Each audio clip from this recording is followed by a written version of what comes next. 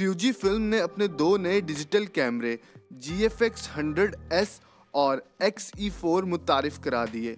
G F X hundred S दो हज़ार उन्नीस के जी एफ़ एक्स कैमरे का छोटा और सस्ता वर्जन है। जी एफ़ एक्स की तरह इस नए कैमरे में भी 102 megapixel medium format sensor 100 फ़ीसद face detection A F coverage के साथ दिया गया है। इसका वज़न का कैमरा से 500 ग्राम कम है मगर इसमें चंद नए फीचर्स मौजूद नहीं। जैसे ई e अब इंटरचेंजेबल नहीं और वर्टिकल बैटरी ग्रिप का ऑप्शन भी नहीं।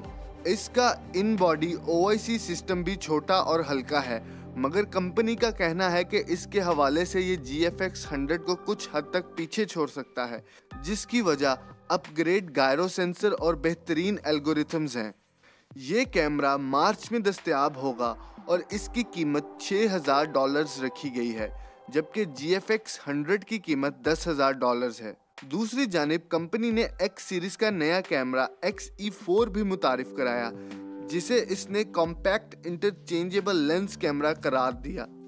इसमें 26.1 मेगापिक्सल एक्स ट्रांस सेंसर दिया गया है, जबकि शटर स्पीड और एक्सपोजर डायल मौजूद हैं। और एक नई स्क्रीन भी दी गई है। शटर डायल में पी स्टिंग भी फुल ऑटोमेटिक प्रोग्राम के लिए मौजूद है।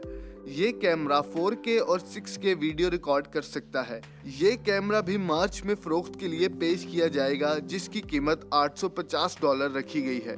हमजली Kashmiri Bright Star TV Pakistan.